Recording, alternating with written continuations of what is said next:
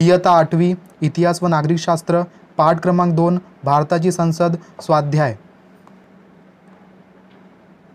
प्रश्न पहिला दिलेल्या पर्यायांपैकी योग्य पर्याय निवडून विधाने पुन्हा लिहा. पहिला प्रश्न लोकसभेवर टिंब टिंब टिंब पद्धतीने उमेदवार निवडून पाठवले जातात. अ भौगोलिक मतदारसंघ ब धार्मिक मतदारसंघ क स्थानिक शासन संस्था मतदारसंघ ड प्रमाणशीर प्रतिनिधित्व पद्धत. उत्तर लोकसभेवर भौगोलिक मतदारसंघ पद्धतीने उमेदवार निवडून पाठवले जातात. प्रश्न दुसरा भारताचे टिंब टिंब टिंब हे राज्यसभेचे पदसिद्ध सभापती असतात. अ राष्ट्रपती ब उपराष्ट्रपती क प्रधानमंत्री ड सरन्यायाधीश. उत्तर भारताचे उपराष्ट्रपती हे राज्यसभेचे पदसिद्ध सभापती असतात. प्रश्न क्रमांक दुसरा शोधा आणि लिहा. पहिला प्रश्न लोकसभा व राज्यसभेच्या सदस्यांना या नावाने संबोधतात. उत्तर लोकसभा व राज्यसभा सदस्यांना खासदार म्हणतात. दुसरा प्रश्न कायद्याच्या निर्मितीची जबाबदारी यांची आहे. उत्तर कायद्याच्या निर्मितीची जबाबदारी संसदेची आहे. प्रश्न तिसरा पुढील विधाने सकारण स्पष्ट करा. पहिला प्रश्न राज्यसभा हे कायमस्वरूपी सभागृह आहे. उत्तर कारण पहिला पॉईंट राज्यसभा ही कधीही पूर्णपणे विसर्जित होत नाही. टप्प्याटप्प्याने राज्यसभेचे मोजके सदस्य निवृत्त होत असतात. दुसरा पॉईंट राज्यसभेतील सदस्यांचा कार्यकाळ हा सहा वर्षांचा असतो. त्यामुळे दर दोन वर्षांनी राज्यसभेचे सहा वर्षांचा कार्यकाळ पूर्ण केलेले एक तृतीयांश सदस्य निवृत्त होतात. पण त्यांच्या जागी पुन्हा तितक्याच नवीन सभासदांची नेमणूक केली जाते. तिसरा पॉईंट सर्व सदस्य एकत्रितपणे निवृत्त होत नसल्याने राज्यसभेला कायमस्वरूपी सभागृह असे संबोधले जाते. दुसरा प्रश्न लोकसभेला पहिले सभागृह म्हणतात. उत्तर कारण पहिला पॉईंट लोकसभेचा उल्लेख भारतीय संसदेचे प्रथम सभागृह असा करण्यात आला आहे. यातील सभासदांची निवडणूक जनतेकडून थेटपणे केली जाते. त्यात इतर कोणाची हस्त हस्तक्षेप नसतो.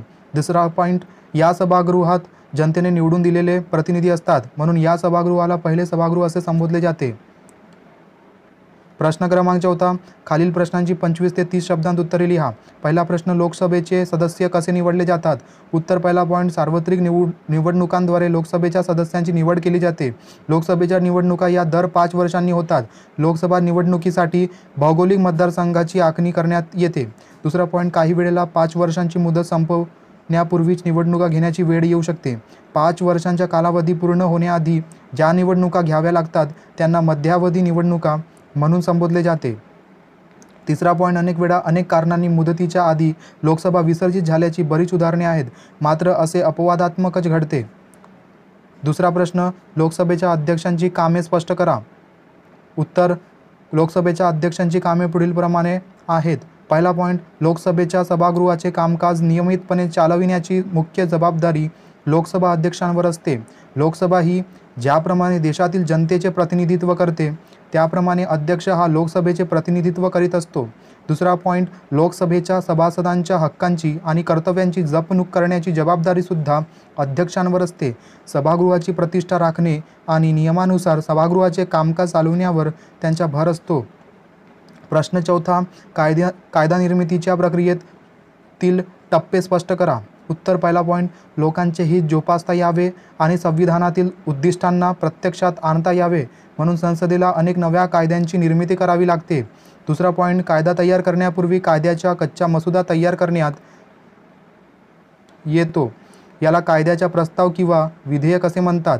तिसरा पॉईंट संसदेच्या लोकसभा व राज्यसभा अशा दोन्ही सभागृहात विधेयक मंजुरीसाठी मांडण्यात येते. विधेयक निर्दोष व्हावे याकरिता विधेयक एका समितीकडे सादर केले जाते.